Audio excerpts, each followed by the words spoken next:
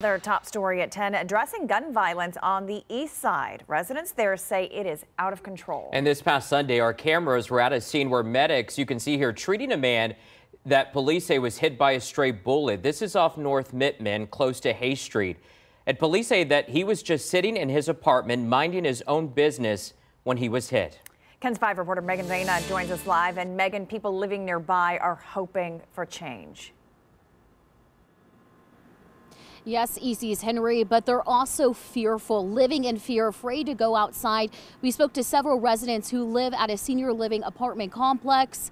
They don't even go out during the day, but they say they, they have nowhere else to go. A lot of them were too afraid to speak on camera. We did speak to one woman who wanted her identity to be hidden for this story.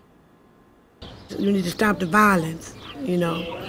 Sitting outside her apartment in the Harvard Place East Lawn neighborhood, this grandmother points to a memorial for a young man, a victim of gun violence. They carry too many guns. She says the sound of gunfire is all too familiar for residents, and the evidence of the violence is visible.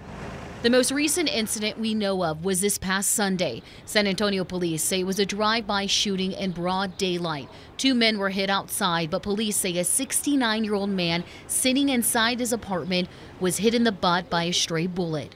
Do you see enough police patrolling the area? No.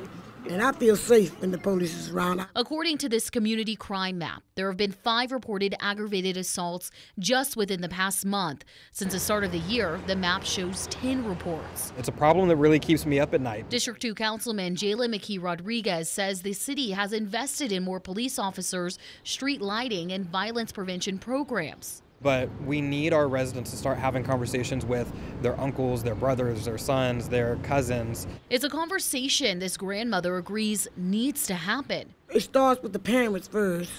You know, we need to get it together, talk to our kids and stuff. McKee Rodriguez encourages his constituents to speak up.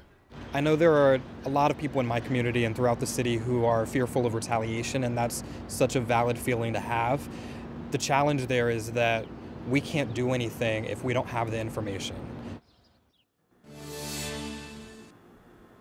And we did reach out to San Antonio police to see how often they're patrolling that neighborhood. We have not heard back. Meanwhile, they're still searching for those suspects involved in Sunday's shooting. Reporting live, Megan Reyna, KENS 5. Thank you, Megan.